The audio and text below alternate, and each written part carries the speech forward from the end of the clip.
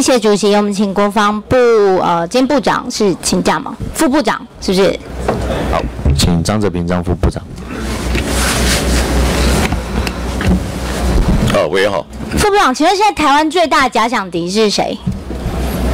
就是对面，对面是谁？中共嘛。对，所以照理说，我们的国军应该都是一条心吧？呃，是绝对没有不管是当兵或是退役的人，应该都是把中共当作假想敌。可是我们不能理解为什么有退将在退役之后，跟我们的国军的想法是南辕北辙，到现在成为全民公敌。为什么退役之后的想法会是想要去中国听习近平听训，去中国去教导他们怎么去对抗美军，去把战略部署去告诉别人？然后去矮化台湾的战力，认为说台湾现在没有能力来对抗中国，认为说我们的小英总统是好像慈禧太后向八国联军宣战一样不自量力。为什么退役的将领会有这样的想法？是代表说我们的国军的训练有什么样的问题吗？换了位置就换了脑袋吗？那如果这样子的话，我们如何认同说现在军中的将领都跟我们是一条心，是能够保卫台湾的？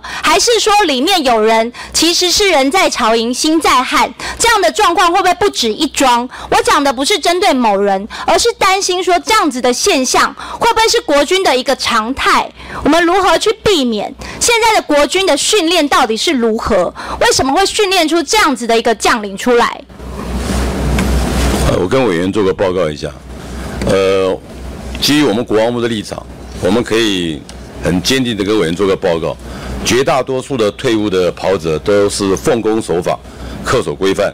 也遵守国家法令。照理说，在军中的训练是非常长期的训练，而且这个训练是超乎常人的。他对于国家的忠心，或者是对于守会守护台湾的这种决心，绝对是不容挑战的。而且应该是说，连退役之后都还是一样的。可是为什么会有这么大的差别？让我们去质疑说，为什么最近国人对于退将有这么多的污名化？确实就是有一些人，他们到了中国去，不管你说去呃喝红酒啊、打小白球啊，或者是去那边称兄道弟等等的现象，一而再再而三的让国人对于国军的训练产生了很大质疑。所以我们发现说，现在的疫情战争呢，到现在呢，就中国解放军四度的挑衅，可是呢，还是有人认为说不应该公布这样子的一个呃。挑衅的资料，认为说这个是会让台湾人这个呃慌了手脚等等，制造无谓的紧张，您认同吗？呃，针对这一点我不太认同。那只是有些就是那为什么这次退将所做的事情您都不认同？那为什么国防部会出现这样的退将？我不知道未来还有多少类似这样的退将了。但是我觉得这对国防部来讲是一个很大的警讯，代表说现在这样的训练是不是有很大问题？那我们也发现现在的战争呢，不只是我们所看到实际的战争，这次的疫情也是一个战争，更重要的是资安的战争，更是我们国防部未来面对这个资讯占一个非常重要的。的一个呃，必须要去防卫的地方，所以我们发现我们的政府网页是长期受到治安的威胁，中国网军长期的这个不管是要瘫痪或是攻击我们的网网站哦，那连国防部呢也因应这个治安的威胁，在二零一七年有成立资通的电军哦，治安的保护中心等等，但是我们还是不断的接受到这些呃攻击啊等等哦，所以呢，我们现在要问的就是说，我们的治安保护到底有没有如我们的预期哦？那我们也发现呢，最近中资它其实透过很多的方式在市场上去狙击我们的公司，而这些民营的企业，它可能因为掌握到我们的相关的资讯、资安而受到影响。如果说现在的这些企业因为中国的入侵而导致我们的资料外泄，对我们来讲那就是一个资安的疑虑。所以包括国防部所承揽的这个呃相关的案件，包括公文的系统啊、战区管理的资讯系统等等，现在都是由大同资讯公司来做承办承揽。但是呢，大同资讯公司最近就产生了中资入侵的疑虑哦。那我们也发现呢，其实美国对于这件事情也非常的重视。事，因为对美国的国安单位来讲，跟我们台湾的合作，首先就要建立在我们对于治安的保护能不能如预期，否则跟我们合作之后，我们的企业把美国的资料呢转手变成跟中国的资料，那这样子的合作等于是在跟中国合作，所以这对我们来讲是一个很大未来的一个危机。那国防部在面对这样子的危机，包括说我刚刚所讲的大同所承揽国防部的标案，包括什么电讯发展啊、海军司令部啊等等的军备局啊等等，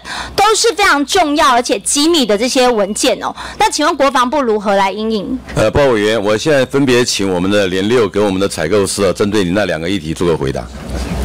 治安部分是委员好，我是通次室次长曹金平。首先跟委员报告有关国军的治安的部分，在治安部分，国军其实是很严密的做法。在首先呢，在实体上我们采取军民网的隔离，另外呢，我们也成立了呃国军网络的安全管控中心，二十四小时都有专人在管控，只要有异常的流量，立刻去采取监控，对局部封锁，然后去追查。所以在层级上来讲是不会有问题。另外，对于国防厂商，我们也有一定的治安管控。除了他进来之前有安全查核之外，在他的实际的呃工厂或者他资讯管制上，我们就有防厂。如果没有达到我们的治安标准，是没有办法进入我们的国防产业。简单报告所以现在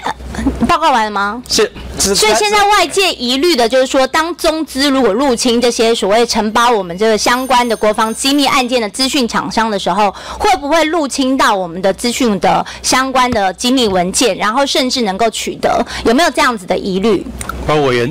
事实上，如果中资的企业，我们在经管会或者商业部的，这不是中资的企业，而是说假真中资，但是假是台湾人，或是用其他的方式，那背后其实是有这样子的疑虑。那刚刚其实也有人提到，就是说经管会其实过去也针对这个案子也有过相关的三次的不核准，但是其实中资左手转右手，背后就是为了我们的国防机密等等相关的文件，这可能比派一个人来当所谓中共代理人当立委，可能更容易直接的取得我们的机密文件，这也是我们更应该要小心注意的。所以也希望这个问题国防部能够更重视。也就是说，现在治安的战争确实已经是开打了，那这对我们来讲，其实是比你提供给立委所谓机密文件，可能更直接能够去窃取我们的相关机密管道资讯的一个方式，好不好？谢谢。好，谢谢我们高嘉瑜高委员、副部长、各位官员起回。接下来请洪孟凯委员。